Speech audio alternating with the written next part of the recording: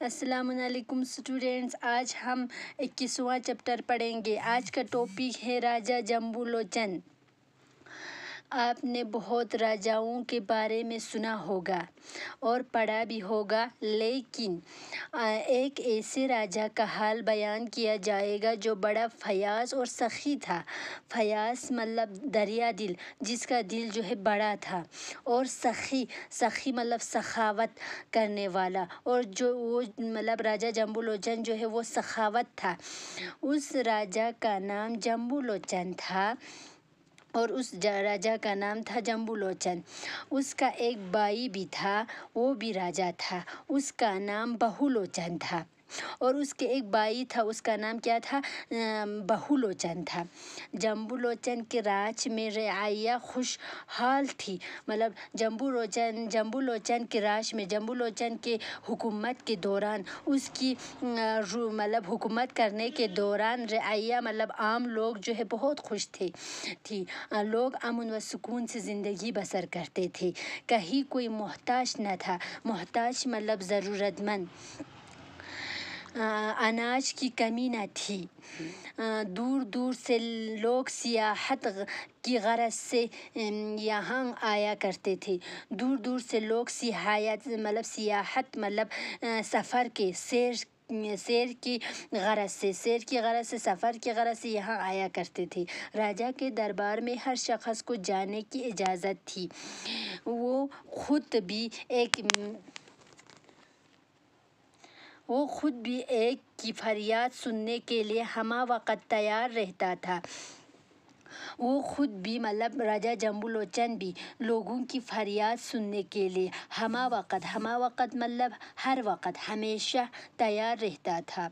राजा ने ऐलान कर रखा था कि कोई सरकारी अहलकार किसी के साथ सख्ती से पेश न आए।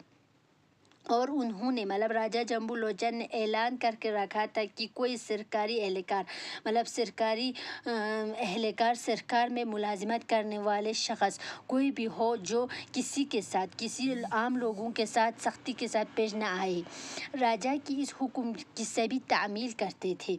मतलब राजा की इस हुक्म की सभी क्या करते थे? तामील करते थे। राजा जम्बूलोचन को अदब से बड़ा शगफ था। राजा जम्बूलोचन जो है, उसको अदब से अदब से क्या था? बड़ा शगफ था। शगफ मतलब बड़ा मोहब्बत था, लगन था। शगफ मतलब लगन। उसने अपने दरबार में मुताद उसने अपने दरबार में मुतद अदीब व शायर जमा किए थे। और राजा जम्बुलोचन जो है, उसने अपने दरबार में मुतद मतलब कई बहुत से बहुत से अदीब व शायर जमा किए थे। अदीब मतलब किताब लिखने वाले और शायर मतलब शेर कहने वाले जमा किए थे बहुत से। राजा ने अपने दरबार में कई गो भी रखे थे। मतलब राजा ने अपने दरबार में, राजा जम्बू लोचन जो है उसने अपने दरबार में कई कस्म मतलब कई किस्सा गो किस्सा गो मतलब किस्सा कहानी कहने वाले लोग भी रखे थे। वो इन सबसे अच्छी अच्छी बातें, किस्से कहानियाँ सुनना, सुनता और खुश होता था। वो कभी कभी इन अदीबों और शायरों को इनाम व इकराम से भी नवाज नवाजता दरबार में अक्सर शेर व अदब की महफिलें मुनद मुनद मतलब मुनद मतलब कायम मुकर होता था मतलब दरबार में बादशाह के दरबार में ज़्यादातर अक्सर क्या होता था शेर व अदब शेर व अदब की महफिल मुकर होता था मुनद मतलब मुकर जिनका हाल मुखजरों के ज़रिए लोगों तक पहुँचा पहुँचाता था और जिनका हाल जो है, हालात जो है मुखजरों ख़बर लाने वालों के साथ मुखजर किसको बोलते हैं? मुखजर ख़बर लाने ख़बर लाने ख़बर लाने वालों के ज़रिए लोगों तक पहुँचा, जाता था, पहुँचाया जाता था। इस राजा के कई क़स्से मशहूर थे। इस राजा के मतलब राजा जम्बू लोचन के कई क़स्से मशहूर थे, जिनका लोग अक्सर ज़िक्र करते थे। ऐसा ही एक किस्सा शिकार से मुताल्लुक़ है। कहा जाता है कि राजा को शिकार का बहुत शौक़ था। एक मरतबा वो अपने दरबारियों के साथ शिकार के लिए निकला। कई दिनों तक जंगल में घूमता रहा, मगर उससे कोई शिकार न मिला। वो मायूस होकर एक टीले पर जा बैठा। थोड़ी देर थोड़ी देर सस्ताने के बाद राजा फिर शिकार के लिए चल निकला। थोड़ा मतलब थोड़ी देर रेस्ट करने के बाद राजा जो है फिर शिकार करने के लिए निकला मतलब चल निकला। वो शिकार की तलाश में भटकते भटकते दूर पहाड़ियों की तरफ़ जा निकला। अचानक उससे एक तालाब नज़र आया। उससे मतलब अचानक राजा को क्या, एक तालाब नज़र आया।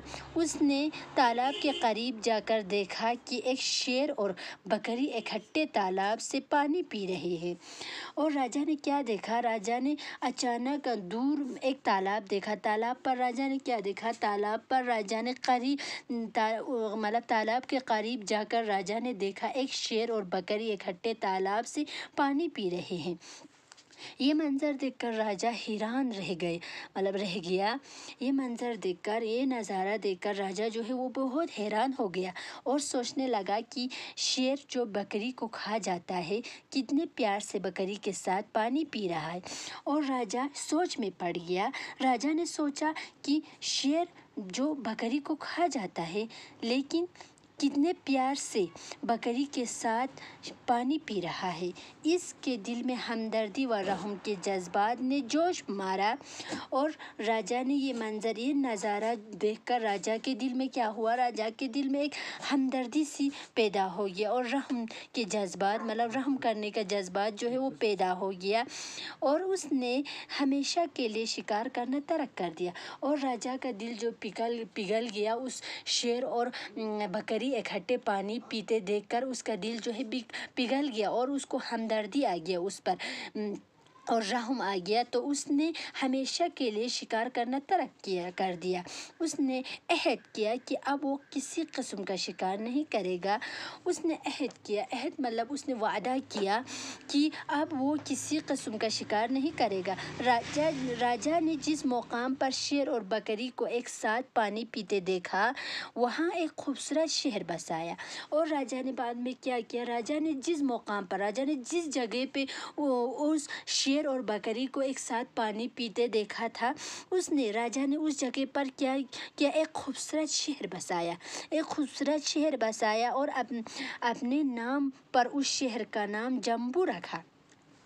और राजा ने क्या किया? उस खूबसूरत शहर का नाम रखा, जो अपने नाम से रखा जम्बू जो रफ्ता रफ्ता जम्मू के नाम से मशहूर हुआ। जो रफ्ता रफ्ता मतलब जो आहिस्ता आहिस्ता जम्मू के नाम से क्या हुआ? मशहूर हुआ। राजा जम्बू लोचन ने इस शहर में कई मंदिर भी बनवाए। राजा जम्बू लोचन जो है, उसने इस शहर में जो राजा ने बसाया था, वो खूबसूरत खूबसूरत शहर, उसमें क्या किया? कई मंदिर भी बनवाए। उस, उसी ज़माने से ये शहर मंदिरों का शहर कहलाने लगा। उसी ज़माने से उस शहर को क्या कहना, कहलाने लगा? मतलब शहर मंदिरों का शहर कहने, कहलाने लगा, क्योंकि राजा ने वहाँ पे बहुत सारे मंदिर बनाए थे। इब्तदा में ये छोटा सा शहर था, आबादी कम थी, बाज़ार भी कम थी। मतलब इब्तदा में शुरू शुरू में ये शहर जो है छोटा सा शहर था। आबादी में उस, आबादी भी उसमें बहुत कम था और बाज़ार भी बहुत, कम थे। बच्चों, अब जम्मू शहर बहुत फैल चुका है। यहाँ की आबादी भी में बहुत इजाफ़ा हुआ है और यहाँ की आबादी में, आबादी मतलब पॉपुलेशन में बहुत इजाफ़ा हुआ है, इजाफ़ा मतलब बहुत बढ़ गया है। यहाँ हिंदू, मुसलमान, सिख, ईसाई सभी मज़ाहिब के मानने वाले मिलजुल कर बड़े प्यार से रहते हैं। और यहाँ जो है मतलब जम्मू में, यहाँ जम्मू में हिंदू, मुसलमान, सिख, ईसाई सभी मज़ाहिब मज़ाहिब मतलब मज़हब की जमा, सभी मज़ाहिब के मानने वाले बड़ी प्यार से मिलजुल कर रहते हैं। यहाँ के मकामी बाशिंदों को डोगरा कहा जाता है और यहाँ मतलब जम्मू के मकामी मकामी बाशिंदों को क्या कहते हैं? मकामी बाशिंदों को डोगरा कहा जाता है। इनकी मादरी ज़बान जो है, डोगरी है। इनकी मादरी ज़बान जो है, डोगरी है। लेकिन अब गुजरी, पहाड़ी, पंजाबी, कश्मीरी के अलावा उर्दू और हिंदी बोलने वाले भी यहाँ बस गए हैं। लेकिन अब क्या हुआ? अब गुजरी पहाड़ी, पंजाबी, कश्मीरी के अलावा उर्दू और हिंदी वाले बोलने वाले भी यहाँ बस गए हैं। अब जम्मू में बहुत सारे बाज़ार हैं, जहाँ कई तरह का कारोबार होता है। बेशुमार स्कूलों और कॉलेजों के अलावा यहाँ यूनिवर्सिटियाँ भी हैं। अब इस शहर में चौड़ी चौड़ी सड़कें हैं। चौड़ी चौड़ी मतलब चौड़ी चौड़ी मतलब बड़ा बड़ा सड़कें भी हैं, जिन पर गाड़ियों की रेल पेल है। कई जगह फलाई फलाई फलाई और भी तमीर किए गए हैं, जिनसे ट्रैफ़िक की आमद व रफ्त मज़ीद आसान हो गई है। और जिनसे क्या हुआ है? जिनसे ट्रैफ़िक की आमद व रफ्त के लिए, ट्रैफ़िक के आने जाने आमद व रफ्त मतलब आने जाने के लिए मज़ीद आसान हुआ है। आसान हो गई। यहाँ की आब व हवा मतदिल है। यहाँ की आब व हवा जो है मतदिल है। मतदिल मतलब अलग है। यहाँ की आब व हवा जो, यहाँ के लोग जफाकश और तनुमन है। यहाँ के लोग जो है जफाकश है। जफाकश मतलब मेहनती, तनुमन मतलब हट्टा कट्टा मज हट्टा खट्टा मज़बूत जिस्म वाला है।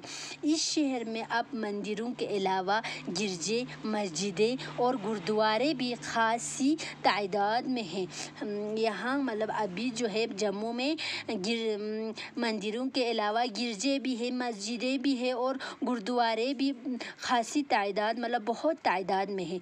हवाई अड्डा और रेल स्टेशन की सहूलियात भी दस्तियाब है।